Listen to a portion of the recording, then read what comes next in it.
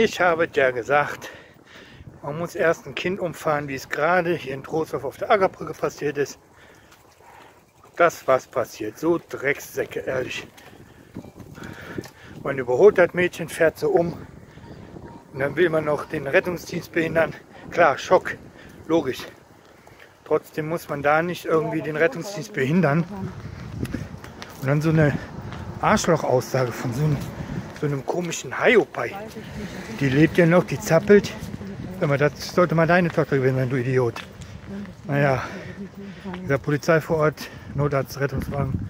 Ich hoffe, der Maus geht bald wieder gu- gut. Ähm, gute Besserung. Und Leute, Handy vom Ohr, aufpassen, nicht die Leute umfahren.